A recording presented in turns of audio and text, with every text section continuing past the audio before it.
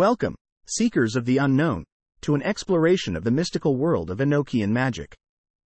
This ancient practice, shrouded in enigma, has long captivated those on a quest for the metaphysical. Today, we will delve deep into its history, rituals, and the concerns raised by the uninitiated about its supposed dangers. Enochian magic is named after the biblical figure Enoch, whom religious texts credit as one of the only two individuals to leave Earth while still alive. Legend has it that Enoch was granted divine knowledge about the universe's workings, which mainly centered around a unique language. This language, often referred to as the angelic language, is the cornerstone of Enochian magic. Enochian magic is rooted in the diaries of two 16th century occultists, John Dee and Edward Kelley. It was during their legendary seances that the enigmatic language was said to be received. Dee was an eminent advisor to Queen Elizabeth I, but he was also a noted astrologer and occult philosopher. His companion, Kelley, was a self-proclaimed medium. Their diaries transcribe the Enochian language, along with complex systems of magic and symbology. Now, let's turn to the core of the Enochian system, the language itself. It is believed to be a complex, syntax-driven language that allows practitioners to communicate directly with angelic beings. Skeptics argue it could just be an elaborate product of Dee and Kelley's subconscious minds, but for believers, it's a direct line to the celestial.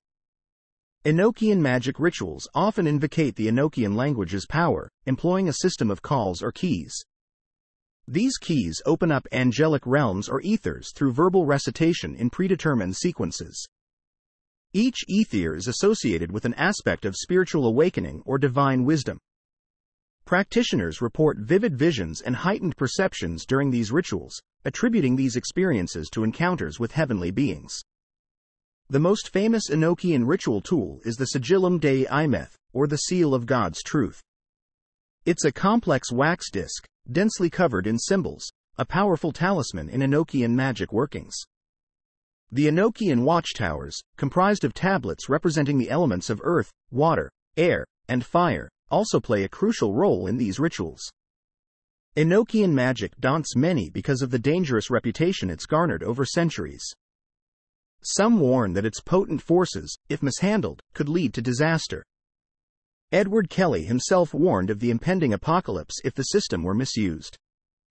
However, it's important to remember that, like any spiritual practice, Enochian magic is not intrinsically dangerous, but it does require a certain level of respect and understanding before engagement.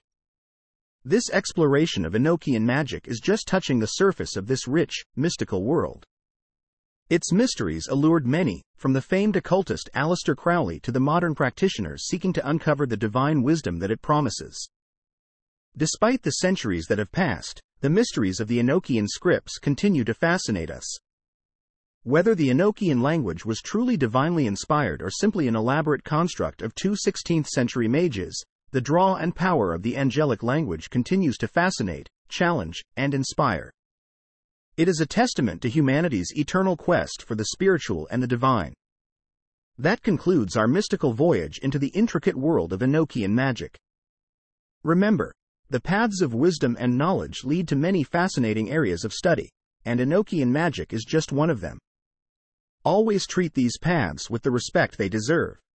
And may your journey into the realm of the unknown be an enlightening and enriching experience. Till we meet again, fare thee well.